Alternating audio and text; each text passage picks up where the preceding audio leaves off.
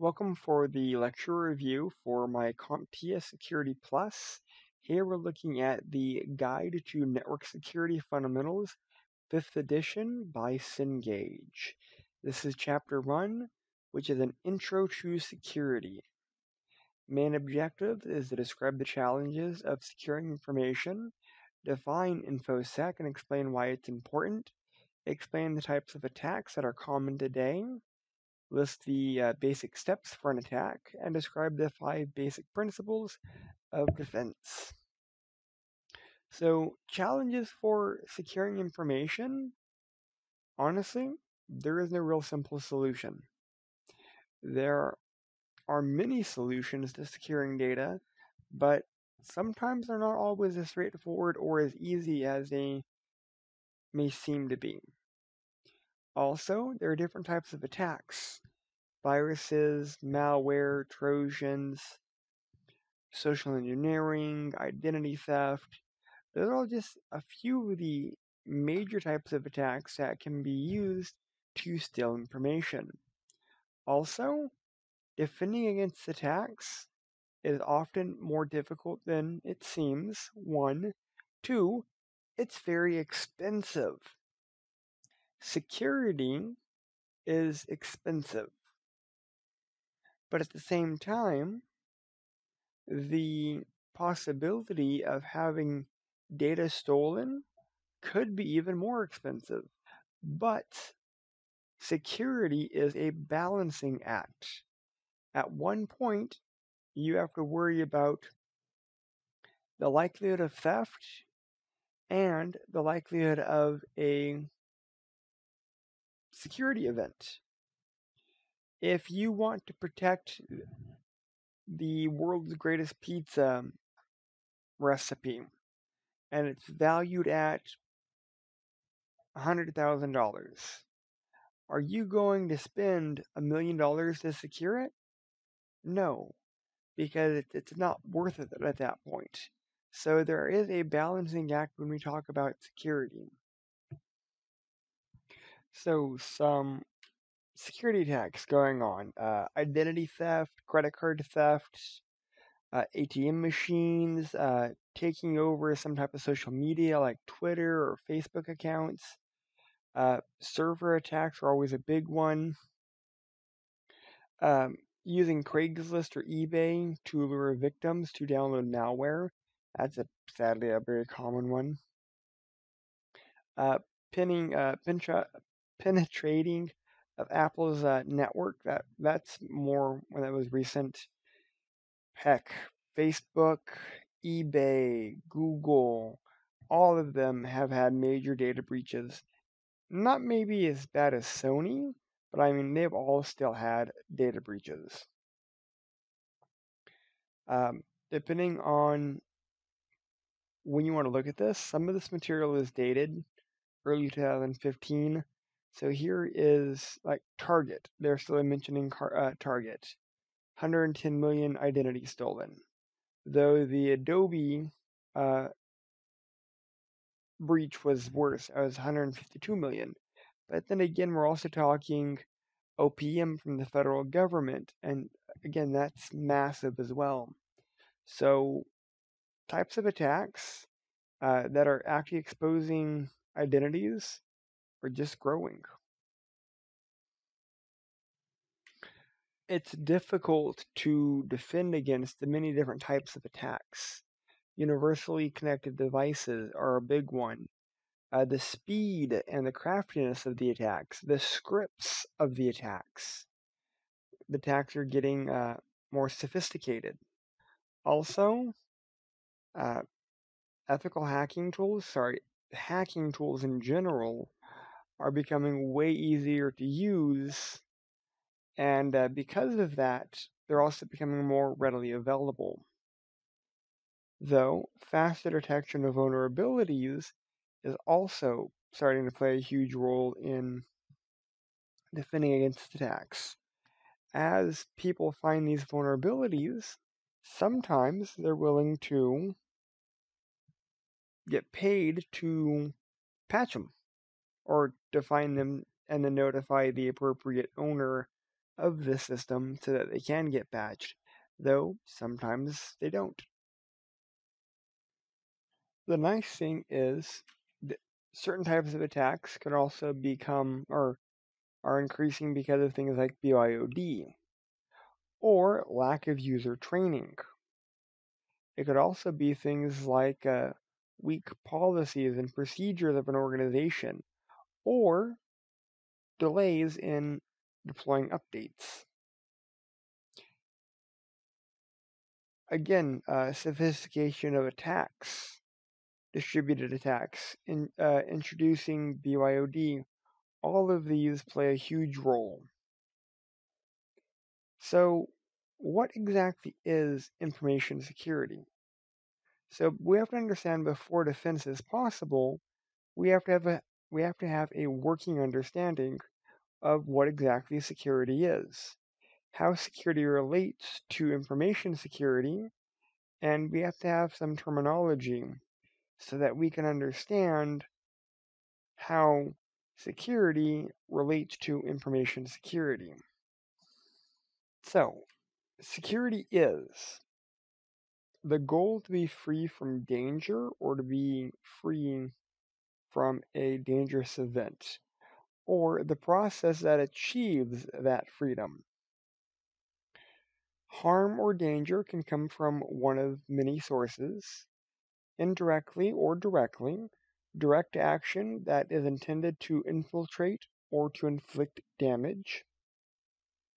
Indirect, uh, indirectly is a unintentional action yet still causes harm or danger. As security is increased, typically convenience is often decreased. I always say that the best way to secure a room is to lock the building. If the building is locked, no one can get inside the building, then clearly that room is secure. However, you, that defeats that will defeat the purpose of that room. So that doesn't really do any good as you uh, start securing something, usability starts going away because it really is a nice triangle. As you move towards security, you move away from usability. As you get closer to usability, the further away from security you get. So they you can't have both. Here we see a lovely chart of Convenience versus security. Information security deals with the tasks of securing information that is stored digitally. And that could be manipulated by a microprocessor, stored on some type of electronic storage media, or transmitted over a network. Information security goal or goals is to ensure that the protective measures are properly implemented to ward off, when possible, attacks and to prevent the total collapse of the system when a, a successful attack might occur. Typically, we look at information security, we define it as CIA, confidentiality, integrity, and availability. Confidentiality is only the approved individuals have access to that information. Integrity is you can make sure that while it's in transit, it is unaltered, and what was sent is what you are actually receiving. And availability, that's the data is accessible to the appropriate users when needed though it also looks at protection implementation, authorization, authentication, and accounting. Accounting takes uh, hold or tracks of the events. Authorization seeks to verify what permissions you're allowed to do. Authentication verifies that you you are who you claim you you are. Information security is achieved through the process that is a combination of sometimes through software, through communication, through hardware.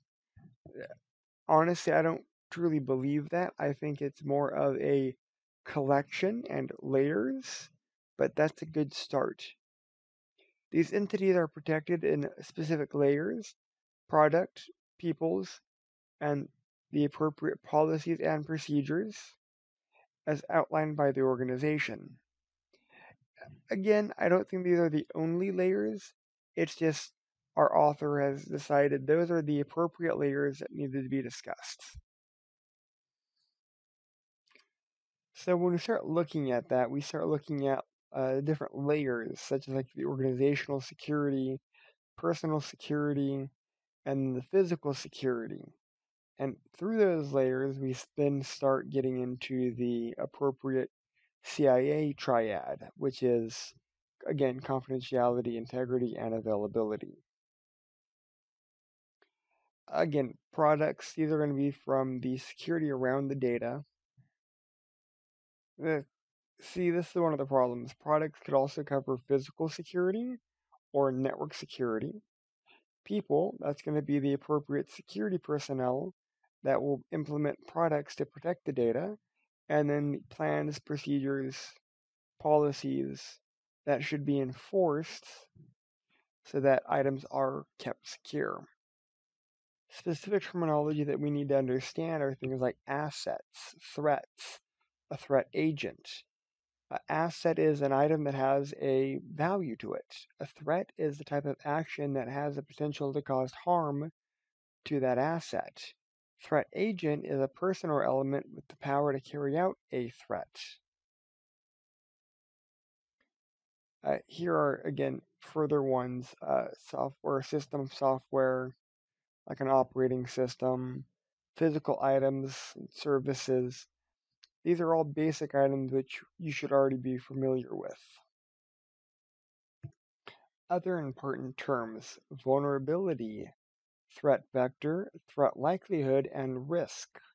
Risk is always a good one, which is a situation that involves exposure to some type of danger.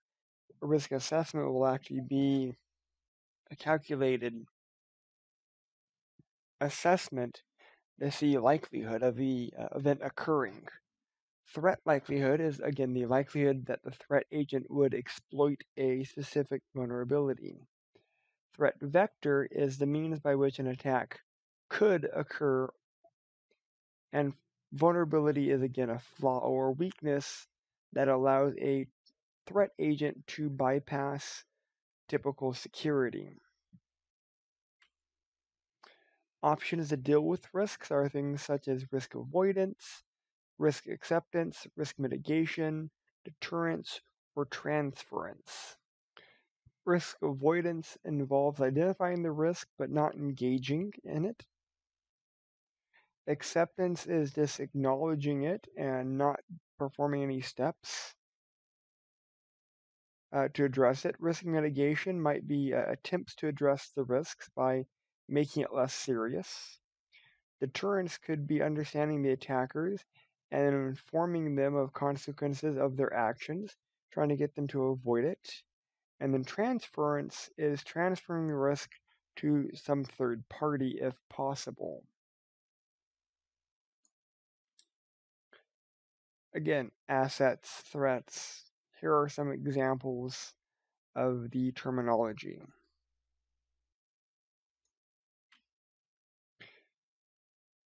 These security plans are helpful in preventing things like data theft, uh, thwarting identity theft, avoiding compliance concerns, or other legal consequences.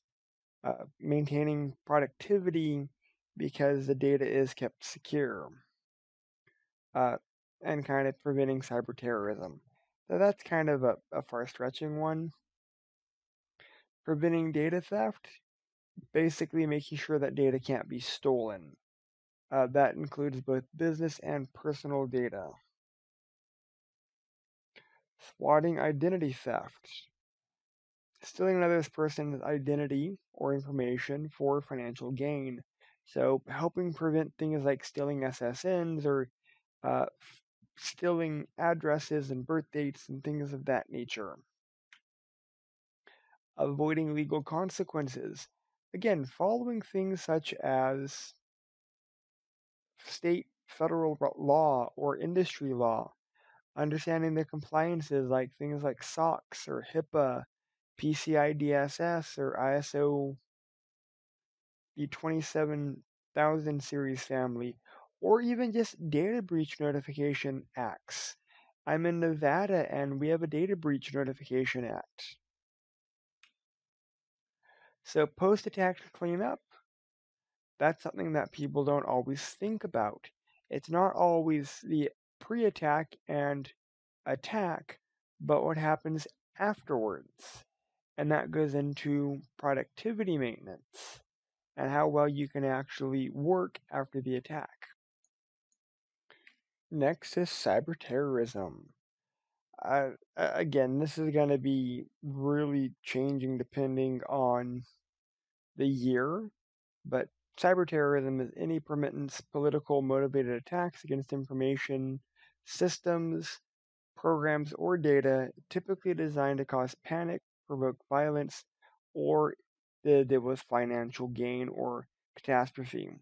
May be directed at a individual, organization, country, state, so forth. So, who are these hackers? Uh, hacker or cracker is, uh, is a person who uses skills to attack a computer. Black hat versus white hat. Black hat normally does it illegally. White hat is uh, more ethical. Gray hat is a combination of both. Hackers are not always bad. Crackers are not always bad. Sometimes this is very subjective. Typically, how I remember this is white hats have permission, black hats don't. Black hats typically do it for personal gain. White hats normally look for what's going on, where are the flaws, so that they could be uh, patched or fixed. Many types of categories of attackers. It just kind of depends. Hacktivists, state sponsored attackers are bigger ones. Script kiddies are just going to be individuals that don't have any real skill, but they know how to run scripts. Cyber criminals or cyber organizations could be comprised of hacktivists and state sponsored hackers. Hacktivists typically hack because they have a specific cause. Cyber criminals uh, typically are highly more uh, highly motivated and they're willing to take a lot more risks. Uh, they conduct they do cyber crime and cybercrime targets uh, attacks against financial networks or theft of personal information for financial gain. Cyber criminals are typically a lot better funded. They actually have a more advanced persistent threat, which is a multi year intrusion campaign that targets highly sensitive economic, proprietary, or other national secrets they play the long game. They're not in it for short gain or short returns. They're in it for the long. Script kiddies, again, are individuals who attack computers that they don't have the real knowledge. Uh, they run exploit kits, which are typically automated packages. Brokers are attackers who sell knowledge for vulnerability or other attackers or governments. Typically, they're hired by vendors to uncover vulnerabilities, though this is not as common uh, wording. I mean, you don't call them brokers typically. Insiders, that's going to be workers inside the organization. Cyber terrorists, again, we've already described. Hacktivists are attackers who attack for uh, ideological reasons. Generally, they could or could not be well funded. They're, uh, they're not as well defined as cyber terrorists. Uh, it could be hacktivists get together because they don't like and or uh, cosmetic testing on animals. So group starts hacking the organ uh, the some uh, farm uh, makeup companies to show how horrible they are. That'd be a hacktivist. State-sponsored attackers. These are attackers commissioned by the government to attack the government's enemies. Attacks and defense. This varies drastically, and this is continuously changing. So to protect computers against attacks, follow the appropriate five fundamental security principles of defense. Again, this is more in general, not specific. Cyber kill chain. There is a kill chain for these types of attacks. Reconnaissance, weaponization, delivery, exploitation, and installation. Understanding the kill chain of an attack means that you can actually start targeting ways to get rid of it or prevent it.